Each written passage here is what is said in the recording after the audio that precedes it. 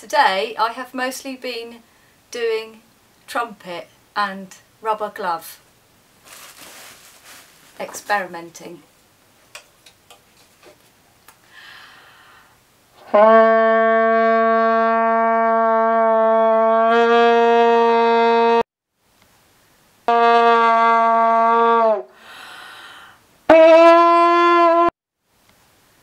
And I can do it with this glove which is the sort of glove that people use for doing cars.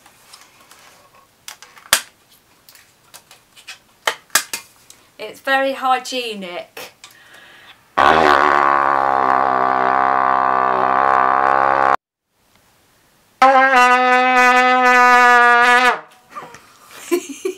that was a good one.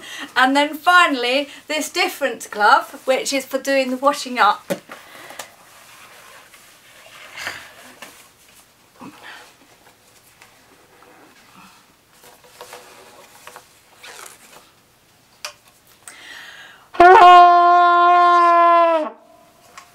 That's not a very good glove really because it hasn't got ends bits there.